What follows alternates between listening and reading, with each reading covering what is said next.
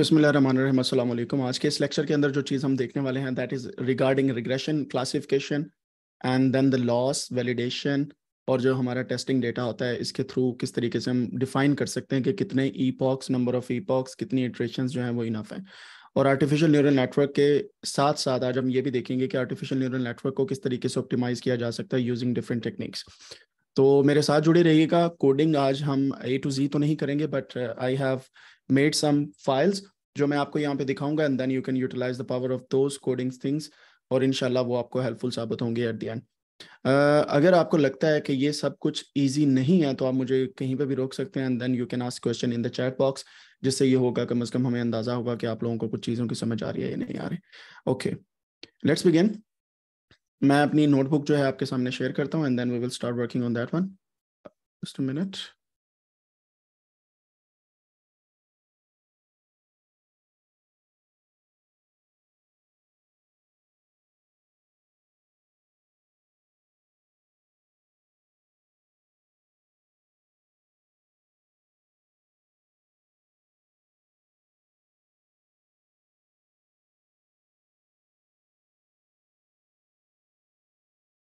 ये जनाब आपके सामने मेरी नोटबुक जो है वो शेयर हो रही होंगी और यहाँ पे ये कोड्स आपको अवेलेबल होंगे। अगर आपको पता है कि जो लिंक्स आपको प्रोवाइड किए जाते हैं, उनके अंदर ये सारे के सारे कोड्स जो हैं वो अवेलेबल किए जाते हैं। तो बेसिकली हम बिल्कुल शुरू से स्टार्ट करेंगे कि डीप लर्निंग के अंदर जो एक्टिवेशन फ़ंक्शन कल का जो टास्क था आपका, आपने जो पढ़े हैं, वो क्या क्या होते हैं और वो एक्टिवेशन फ़ंक्शन किस तरीके से आपको हेल्पफुल साबित होते हैं। तो मैं सिर्फ़ इनको गो थ्रू करूँगा। बाय द वे ये किस तरीके से चमकीला लिखा गया है या बड़े टेक्स्ट में लिखा गया है I am using different kind of languages जो यहाँ पे आप सी एस एस भी यूज़ कर सकते हैं एच टी एम एल भी या some other languages as well inside the markdown cells तो वो ऑटोमेटिकली इस तरीके से अंडरलाइन करके उसको टेक्स्ट को बोल्ड कर देते हैं। तो अगर हम इनको देखें, यहाँ पे एक्टिवेशन फ़ंक्शन जो हमने कल देखे थे सिग्मॉइड था, या लॉजिस्टिक फ़ंक्शन था टेन एच था हाइपरबोलिक टेंजेंट फ़ंक्शन जिसे बोलते हैं रैल्यू था लिकी रैल्यू था पैरामेट्रिक वैल्यू था एक्सपोनेंशियल लीनियर यूनिट था एंड देन सॉफ्ट मैक्स तो ये कुछ फ़ंक्शंस हमने कल देखे थे, जो कल के लेक्चर आपको प्रोवाइड किया गया था उसके अंदर। एक्टिवेशन फ़ंक्शन कहाँ पे यूज़ होते हैं? हर किस्म की जो लेयर्स हमारे पास होती हैं फॉर एग्जांपल जो हमारे पास आर्टिफिशियल न्यूरल नेटवर्क डिज़ाइन हम करते हैं, उसके अंदर कुछ लेयर्स होती हैं। उन लेयर्स को हम वन बाय वन करके लेयरिंग के साथ साथ एट दी एंड जब आउटपुट लेते हैं तो स्पेसिफिक एक लेयर से जब दूसरी लेयर के अंदर आउटपुट जाती है तो उसको हम एक्टिवेशन फ़ंक्शन के थ्रू प्रॉपर एक रीडेबल uh, फॉर्म के अंदर कन्वर्ट करते हैं फ्रॉम फ्रॉम लीनियर इक्वेशन तो उसके लिए एक्टिवेशन फ़ंक्शन यूज़ होते हैं। फॉर एग्जांपल सिग्मॉइड के अंदर आपको बताया था कि अगर आप एस शेप बना लेते हैं तो आपके पास सिग्मॉइड जो है वो इस तरीके से uh, जो एक्टिवेशन फ़ंक्शन है वो शो करने लग जाते हैं। एंड इसके अलावा आपको एक्टिवेशन फ़ंक्शन के बारे में और भी बड़ी इन्फॉर्मेशन मिल जाएगी। अगर आप हमारे यूट्यूब चैनल पर जाएँगे, वहाँ पे ये सारी की सारी इन्फॉर्मेशन पड़ी हुई है। So I am not going to repeat that लेकिन अगर हम न्यूरल नेटवर्क की बात करें तो न्यूरल नेटवर्क जब हम बना रहे होते हैं, सबसे पहला काम हमारा होता है किसी भी डेटा सेट को इम्पोर्ट करना। और यहाँ पे आपको आज जो तीन चार चीज़ें इंपॉर्टेंट मिलेंगी, वो यहीं पे हम देखते हैं कि जैसे भी हमारा न्यूरल नेटवर्क बनता है, उसके अंदर कौन कौन सी चीज़ें मेनली स्टेप बाय स्टेप हम लेके चलेंगे। पहली लाइब्रेरीज इंपोर्ट करनी ऑब्वियसली आपको पता है कि टेंसर फ्लो है केरास है, और ट्रेन टेस्ट स्प्लिट अगर आपने डेटा करना है तो आप एसके लर्न को यूज़ कर सकते हैं।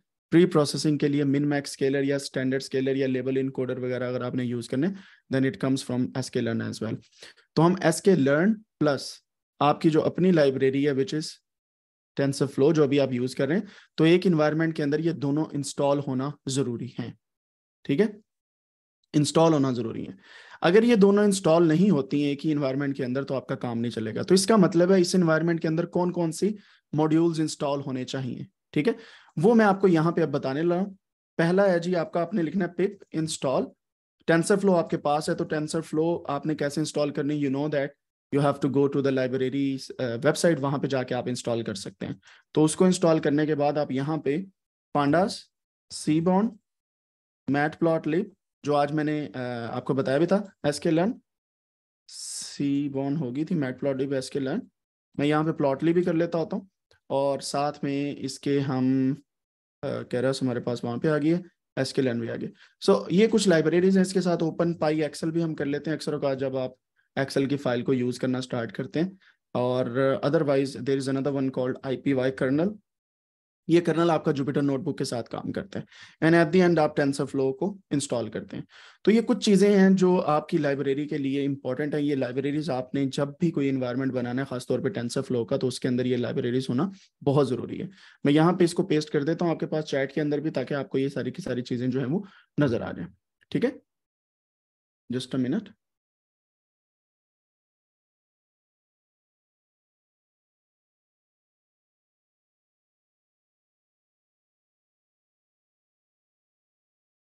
ओके अच्छा जी, ये तो होगी सिंपल सी चीज़ें। हमने अब डेटा के लिए पहले लाइब्रेरीज इंपोर्ट की, फिर टिप्स का डेटा मैं यहाँ पे पहले लेके आऊँ फिर डायमंड के डेटा पे हम काम करेंगे ताकि बड़े डेटा और छोटे डेटा दोनों का फ़र्क वाजे हो सके। और डेटा जैसे हमारे पास आ जाता है, हम पहले उसके लेबल्स को इनकोड कर लेते हैं। यानी कि जितने भी लेबल्स हैं, उनको इनकोड कर लेते हैं जो कैटेगोरिकल वेरिएबल के हैं। तो मैंने सिंपल फॉर्मूले के साथ इसको इनकोड किया कि आप टिप्स के अंदर से सेक्स का स्मोकर का डे का एंड टाइम का डेटा निकाल लें और उनको आप लेबल इनकोडर के थ्रू फिट एंड ट्रांसफॉर्म कर लें तो आपका डेटा इनकोड हो जाएगा। यानी कि आपका डेटा जो आप सेक्स यानी कि फीमेल और मेल कह रहे थे उसको ज़ीरो या वन में कन्वर्ट कर रहे हैं। स्मोकर यस और नो था उसको ज़ीरो और वन में कन्वर्ट कर रहे हैं एंड आप इंटीजर्स उन्हें प्रोवाइड कर रहे हैं। ठीक है? यहाँ तक तो समझ आना आपको? फिर हम एक्स और वाई को यहाँ पे डिफाइन कर लेते हैं। जब हमारी रिग्रेशन की प्रॉब्लम है तो वाई हमारे पास एक कौन सा वेरिएबल होता है? रिग्रेशन की प्रॉब्लम में वाई जो होता है टारगेट वेरिएबल क्या होना चाहिए? नुमेरिक और एक्स कोई भी हो सकता है। समझ है ना आपको? एक्स कुछ भी हो सकता है। एक्स के अंदर कुछ भी हो सकता है, लेकिन उसको हमने इनकोड करना और वाई सिर्फ़ नुमेरिक होता है। तो जब हमारे पास टिप है टिप क्या है जी? एक वैल्यू है तो ये नुमेरिक है। That means we are going to do this regression problem but हम इसको फिर ट्रेन टेस्ट स्प्लिट डेटा में कन्वर्ट करते हैं। रैंडम स्टेट क्यों रखी जाती है? ये मैंने आपको बारहा बताया लेक्चर्स के अंदर भी।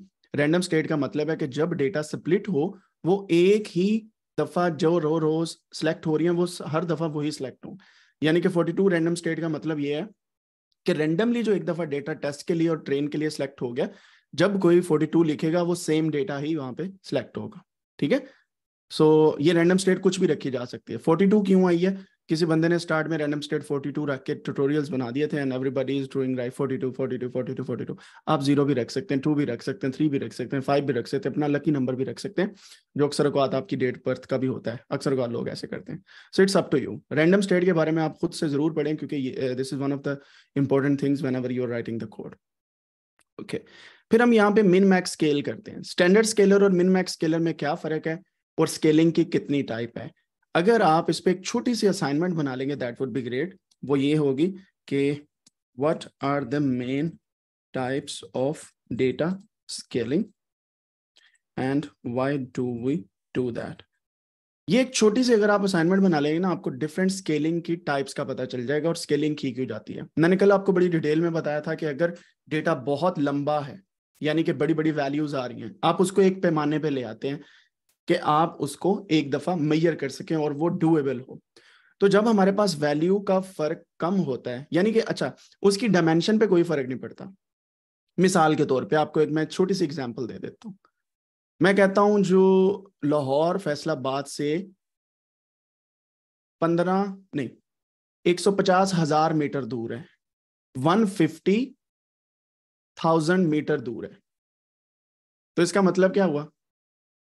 अगर हम उसको स्केल पे ले आए तो डिवाइडेड बाय थाउज़ेंड कर सकते हैं यूनिट बड़ा कर लेंगे। समझे? तो वो स्केलिंग के अंदर हो जाएगा। अगर हम वैल्यूज़ को बड़ी वैल्यूज़ से छोटी वैल्यूज़ में ले आए तो वो हमारे पास एक डायमेंशनल डेटा आ जाता है। मैं एक मिसाल यहाँ पे आपको लिख के देता हूँ।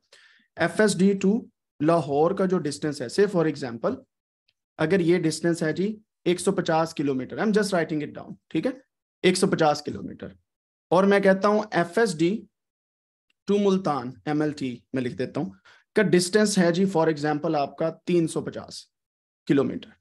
अब इनको अगर मैं 150 और 350 लिखने की बजाय, मैं अगर इसको लिख देता हूँ 1.5 और 3.5 तो ये एक किस्म की आपकी स्केलिंग है, ठीक है? मतलब इन दोनों का फ़र्क वही रहना है जो मेन डिस्टेंस में था।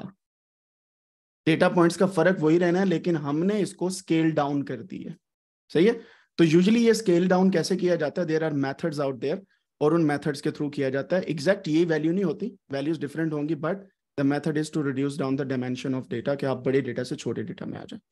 सो मिन मैक्स स्केलर का क्या मतलब है कि मिनिमम वैल्यू से मैक्सिमम वैल्यू तक हो जाए? और इसी तरह स्टैंडर्ड स्केलर मैंने आपको बताया था कुछ की कुछ की जो रेंज होती है वो माइनस वन से प्लस वन तक होती है, कुछ की रेंज माइनस थ्री से प्लस थ्री तक होती है। So you should know about that कि ये मिन मैक्स स्केलर क्या होता है और स्टैंडर्ड स्केलर क्या होता है। अगर आप क्विकली देखना चाहें, जब आप कोडिंग कर रहे हो तो GitHub Copilot is one of the best things min max scaler versus standard scaler मैं इससे पूछ लेता हूँ तो आप यहाँ पे साइड पे भी लिख सकते हैं। ठीक है? तो ये आपको बता देता है कि क्या है, क्या नहीं है। अब मैं यहाँ पे देखता हूँ। अब देखिएगा जरा। इसलिए डायरेक्टली बता दिया both min max scaler and standard scaler commonly use to feature scaling in machine learning ठीक है?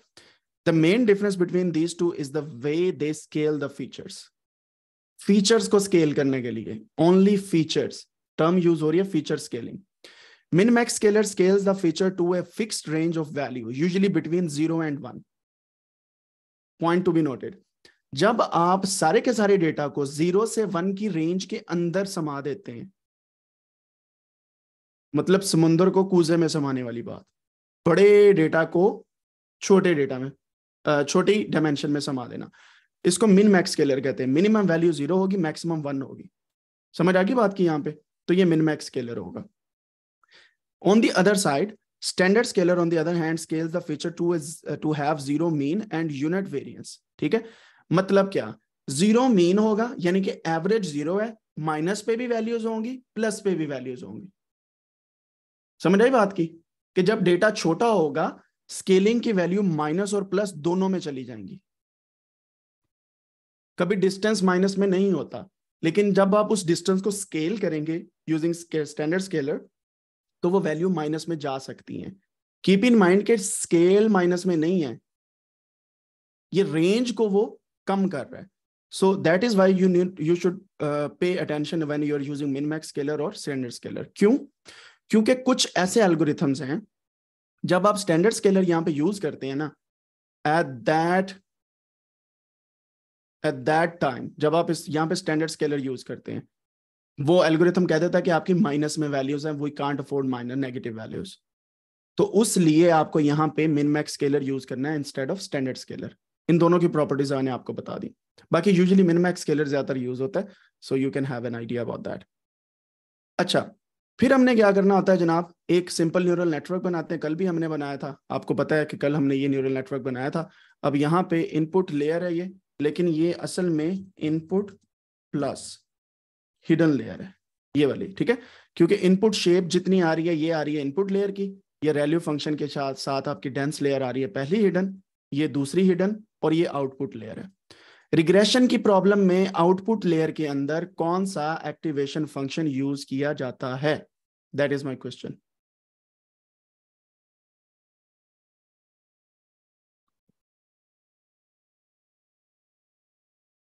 सोच लीजिएगा एक दफ़ा। आउटपुट लेयर के अंदर रिग्रेशन की प्रॉब्लम्स में कौन सा एक्टिवेशन फ़ंक्शन यूज़ करना है? रिग्रेशन की प्रॉब्लम में when we don't need any specific class, we only need the numeric value.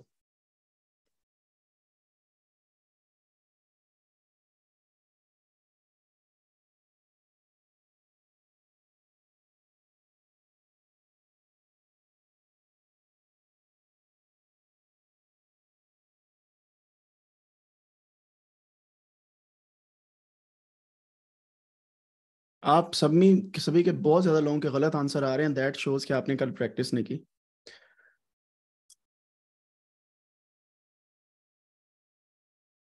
आपने एक्टिवेशन फ़ंक्शन वाला लेक्चर सुना है सभी ने? उसमें बड़ी डिटेल में एक सेक्शन था how to choose an activation function last lecture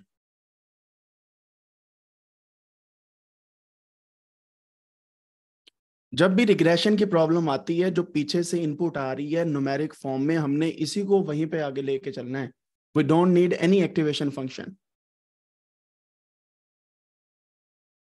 जो पिछले की आउटपुट्स आ रही हैं, उनको एज इट इज़ आगे लेके चलना है। रिग्रेशन में एक्टिवेशन फ़ंक्शन नहीं चाहिए।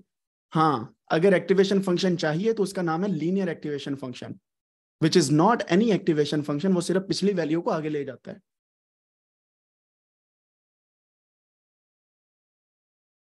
कुछ समझ आई है इस बात की? एक्टिवेशन फ़ंक्शन का मेन मकसद ये होता है, जो आपके पास पीछे न्यूमेरिक वैल्यू की इनपुट आ रही है, उसको वो मीनिंगफुल वैल्यूज़ के अंदर कन्वर्ट करे। फॉर एग्ज़ाम्पल अगर मेरे पास बाइनरी एक्टिवेशन फ़ंक्शन है, जिसको हम बाइनरी क्लास एक्टिवेशन फ़ंक्शन जिसे हम सिग्मोइड कहते हैं फॉर एग्ज़ाम्पल इस तरीके से है। तो अगर कोई वैल्यू यहाँ पे है तो ये ज़ीरो हो जाएगी। यहाँ पे है तो ये वन हो जाएगी। तो ये जो पीछे वैल्यू आ रही है point zero nine point zero two point zero three point zero four वो इससे पहले लेयर वाली वैल्यूज़ इसके अंदर आ रही हैं। And then this activation function is converting those numeric values into some class zero या वन तो अगर हमें ये न्यूमेरिक वैल्यू चाहिए we don't need any activation function ये डायरेक्टली वैल्यू हमारी आउटपुट है और रिग्रेशन के अंदर यही कुछ होता है. So you don't need any activation function when you are writing regression problem या लीनियर एक्टिवेशन फ़ंक्शन होता है। लीनियर का मतलब भी कोई एक्टिवेशन नहीं है। लीनियर एक होम्योपैथी समझ लें आप, उसका कोई फ़ायदा या नुकसान नहीं है। सिर्फ़ वो पिछली वैल्यू को आगे लेके आ रहा है। वो अक्सर औकात होता है ना, दुकान पे आपको चीज़ लेने जाए, एक बंदा खड़ा होता है, वो कहता है, भाई, शापर डबल करा ले मतलब उसका काम कोई नहीं है, ना उसका कोई इंटरफेयर है करने का काम, लेकिन वो बंदा बोलेगा कि मैं कुछ कर रहा हूँ, शापर डबल करवाने वाला। और ये एक टर्म बड़ी चलती है, पंजाब के अंदर, पाकिस्तान के अंदर भी, इंडिया के अंदर भी शायद चल रही हो, कि करना खुद कुछ नहीं है और दूसरों को बताते रहना है। सो लीनियर एक्टिवेशन फ़ंक्शन का यही काम है कि वैल्यू आ रही हो, नया कह देना शापर डबल करा लो। So that means you don't need to worry about any activation function activation ever you are writing a regression problem, neural network. But, there is a but साहब बट साहब ये कहते हैं कि जब आप हिडन लेयर में यूज़ करेंगे then you need to use some activation function in the hidden layers hidden layer में यूजली रेल्यू यूज़ होता है। ठीक है? आज तक रेल्यू यूज़ होता है। So keep in mind these things अब यहाँ पे आप कंपाइल कर रहे हैं। ठीक है? अब मैंने क्या किया जो इनपुट लेयर है आउटपुट लेयर है, इन तीनों को हम डिवाइड कर लेते हैं then you can construct your neural network तो मैंने पहले तो ये लेयर्स डिफाइन की। और फिर मॉडल के अंदर ले आया। This is another way of defining a model समझ आई? Input layer hidden layer and output layer by the way यहाँ पे एक छोटी सी गलती ये है कि हमने यहाँ पे लेयर्स के साथ डॉट इनपुट ये लिखना था और हमने यहाँ पे इस तरीके से हमारी इनपुट लेयर बनती है। ठीक है? तो ये इनपुट लेयर है। ये हमारी दूसरे वाली हिडन लेयर है और तीसरे वाली हमारी आउटपुट लेयर है। And then we combine these three layers that makes a model ठीक है? तो आप सेपरेटली डिफाइन भी कर सकते हैं, एक ही लाइन में भी लिख सकते हैं, जैसे मैंने कल आपको बताया था। देन हम कंपाइल करते हैं एडम और, जो हमारे पास लॉस होगा। लॉस का मतलब है मैट्रिक वही जो पुराने मैट्रिक्स है ना वही लॉस को कंसिडर किए जाते हैं ना। मीन स्क्वेयर एरर होगी मीन एब्सोल्यूट एरर होगी मीन एब्सोल्यूट परसेंटेज एरर होगी। आपकी जनाब डिफरेंट किस्म का जो एरर्स की वैल्यूज़ हैं लॉस एरर्स में होता है। आर स्क्वेयर को लॉस में नहीं लिखेंगे आप। समझ आ रही बात की? R square is a different thing errors की बात कर रहा हूँ लॉस में सिर्फ़ एरर्स आएँगी। एडम हमारा ऑप्टिमाइजर ऑप्टिमाइजर क्या करता है? जब आगे कोई वैल्यू फॉरवर्ड प्रोपोगेशन में जाती है वो बैकवर्ड में आते आते उसको रिजोल्व करता है। सो so, यहाँ पे अब हमारे पास आ रहा है ट्रेन द मॉडल हम मॉडल को फिट करके ट्रेन करते हैं स्केल डेटा पे। स्केल क्यों कर रहे हैं? क्योंकि न्यूरल नेटवर्क स्केलिंग की डिमांड करता है and then it provides best possible results scale data क्या है? सिर्फ़ फीचर्स को हमने स्केल किया यूजिंग मिन मैक्स स्केलर ये चेक करें, ठीक है? हमने इसको स्केल किया फीचर को ट्रेन को भी और टेस्ट के फीचर्स को भी। एंड देन 50 पॉक्स यूज़ किए पॉक्स का मतलब है इटरेशंस बैच साइज़ का मतलब है कितने प्रोसेस एट अ टाइम आगे लेके जाने। बैच का पता है ना आपको? चले, जो लोग वीडियो एडिटर हैं, उनको पता होगा कि जब आप 10-15 वीडियोस इकट्ठी एडिट करनी होती है, आप एडिट करके रख लेते हैं, फिर उनको एट द एंड सेव करने के लिए रेंडर करने के लिए आप इकट्ठे रेंडर कर देते हैं। बैच का मतलब है मल्टीपल प्रोसेसेस को एक टाइम पे करना। यानी कि आप आप चाह रहे हैं कि यार, ये खुद ब खुद बैच प्रोसेस होता रहे, बत्तीस पॉइंट्स एक साइड पे एक दफ़ा चलें, फिर अगले बत्तीस, फिर अगले बत्तीस, फिर अगले बत्तीस। तो बैच प्रोसेसिंग का मतलब है मल्टीपल थिंग्स जो एट टाइम चल रही वर्बोस क्या चीज़ है? किसी को पता है प्रोग्रामिंग लैंग्वेज के अंदर वर्बोस क्या होती है? वर्बोस ये जो आपके नीचे यहाँ पे प्रिंट होके आ रही है ना चीज़ें epoch one epoch two epoch ये जो आउटपुट आ रही है टर्मिनल के अंदर, ये इसको डिटेल्स बोलते हैं और वर्बोस की वैल्यूज़ जो हैं वो डिफाइन करती हैं कितनी डिटेल रखनी है। समझ आई? कि नहीं आई? तो समझा? नहीं तो नहीं समझा। तो बेसिकली आउटपुट डिस्प्ले क्या करना है? अगर आप चाहते हैं कि सारे के सारे इपॉक्स की वैल्यू नज़र आए, हर एक चीज़ नज़र आए तो वन टू रखेंगे तो सिर्फ़ एंड वाली नज़र आएगी। बैकग्राउंड प्रोसेस चलेगा। थ्री रखेंगे तो आपको और भी मिनिमाइज इन्फॉर्मेशन आएगी। So this is all about train the model and then evaluate जब आप इसको रन करते हैं, ये मैंने ऑलरेडी रन किया हुआ है तो आपके पास क्या होता है? यहाँ पे टेस्ट लॉस आ जाता है, या आप कुछ और भी चीज़ प्रिडिक्ट कर सकते हैं and then you have you can have an idea कि हमारे पास जो 50 ईपॉक्स चले, उनका लॉस क्या था, और एक मैट्रिक की बेस पे हमारी बेस्ट पॉसिबल चीज़ें कैसे शो हुई, ठीक है? So this is how you construct a neural network जो हमने कल भी किया था। वर्बोस की वन टू और थ्री तीन ही वैल्यूज़ होती हैं। ज़ीरो वन टू भी हो सकती है वन टू थ्री हो सकती है। You have to look into the into the documentation मैं यहाँ पे आपसे वर्बोस इन टी एफ़ ये लें जी। ये क्विक क्विक प्रोग्रामिंग में ये चीज़ें आपको काम देती हैं इसी वजह से गिटअप को पायलट बड़ा बेस्ट है। ज़ीरो होगी तो no logging output is displayed कुछ भी नहीं आएगा। वन होगी तो आपके पास प्रोग्रेसिव बार्स जो अभी आई थी टू होगी तो ओनली ए समरी तो तीन वैल्यूज़ है ज़ीरो वन एंड टू मैंने यहाँ पे वन लगाई हुई है तो ये सारा कुछ प्रिंट हो रहा है। अब बाकी चीज़ें लगा के मैं आपको नेक्स्ट न्यूरल नेटवर्क के अंदर दिखाऊँगा and then you will see कि किस तरीके से काम करती है। सो so, इस तरीके से हम अपना न्यूरल नेटवर्क बनाते हैं और न्यूरल नेटवर्क बना के हम आगे इसको रन कर सकते हैं। अब आपको एक छोटी सी और चीज़ दिखाता हूँ कि कैसे आप अपना जीपीयू चेक कर सकते हैं, क्योंकि ज़ाहिर बात है, आपने इंस्टॉलेशन की होगी और आप परेशान होंगे कि जीपीयू कैसे टेस्ट करना है। तो एक छोटी सी कमांड है यहाँ पे, आप टेंसर फ्लो को इम्पोर्ट करें और नंबर ऑफ़ जीपीयू को लेंथ और इस कमांड के थ्रू आप फ़िज़िकल जीपीयू जीपीयूज अगर आपके सिस्टम में उसे कैसे चेक करना है, आप इसको रन करेंगे। तो मेरे पास एक जीपीयू अवेलेबल है, इसका मतलब है मेरे सिस्टम में जीपीयू है which I can utilize to run the process at high speed second हमारे पास यहाँ पे जो चीज़ है that is also physical devices कौन कौन सी उनका नाम क्या है? सो so, कहाँ पे इंडेक्स उनका मिलता है? तो यहाँ पे इसको आप रन करेंगे तो आपको वो भी पता चल जाएगा फ़िज़िकल डिवाइसेस कितनी है। फ़िज़िकल डिवाइसेस मतलब जीपीयू फिजिकली है या नहीं आपके सिस्टम में। एंड देन ये छोटा सा कोड मैंने दिया इसे आप रन करके टाइम चेक कर सकते हैं। अगर ये पूरा कोड आपका कोई डेढ़ से दो मिनट ले तो it means everything is working fine ये कोड मैंने प्रोवाइड कर दिया, ये आपको मिल जाएगा। अगर ये दो मिनट से ज़्यादा लेता है तो इसका मतलब आपका जीपीयू नहीं चल रहा और आपके सिस्टम की स्पीड थोड़ी सी लो है। तो ये एक बेंच मार्क है, ठीक है? मेरे पास इसने एक मिनट उनतीस सेकंड लिए हैं because I have really heavy machine आपने अपना टाइम ये बताना है, इस कोड को रन करके कितना लेता है। I will provide you this code and then we will see कि ये कैसे काम कर रहा है at the end of this lecture और इसको हम बेंच मार्क करेंगे कि किसका सिस्टम कितना हैवी है just for that reason CPU होगा तो सीपीयू चलेगा, वरना जीपीयू ओके okay. यहाँ तक आपको क्लियर हो गया जनाब। अब हम बात करते हैं डायरेक्ट रिग्रेशन प्रॉब्लम की जो हमने पहले भी बात की थी। अब इस पे थोड़ा सा हम डिटेल में बात करेंगे। रिग्रेशन प्रॉब्लम एक ही जगह पे हम कैसे इसको परफॉर्म कर सकते हैं? मैं टिप्स के डेटा सेट पे पूरे का पूरा कोड लिख के यहाँ पे आपको रन करके दिखाऊँगा and then we will see कि कैसे प्रोसेस चलता है। सबसे पहले इम्पोर्ट लाइब्रेरीज आपने कर ली। For TensorFlow Keras and layers आप इम्पोर्ट कर लें। अगर आपने करनी है लेयर्स इम्पोर्ट वरना TF is enough data set आपने इम्पोर्ट कर लिया। उसकी लाइब्रेरी सॉरी डेटा सेट की। एंड देन आपके पास यहाँ पे train test split and encoder plus scaler encoder और स्केलर ज़रूरी है कीप इन माइंड और ये दोनों प्री प्रोसेसिंग के अंदर आते हैं। तो यहाँ पे हमने डेटा को इनकोड किया। अगेन वही चीज़ है। फिर हमने क्या किया? हमने यहाँ पे इसको आप एक बाइनरी वेरिएबल के अंदर भी कन्वर्ट कर सकते हैं to if you want to do the classification thing वरना आप इसको जो है अपना, क्या उसे बोलते हैं? एक रिग्रेशन प्रॉब्लम के लिए भी रख सकते हैं।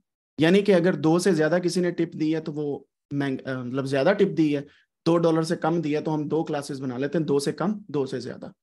तो आप इसको बाइनरी ऑपरेटर के तौर पे भी यूज़ कर सकते हैं। And then you run this total algorithm train test split के साथ एंड एट दी एंड आपके पास लॉस एंड एक्यूरेसी आ जाती है।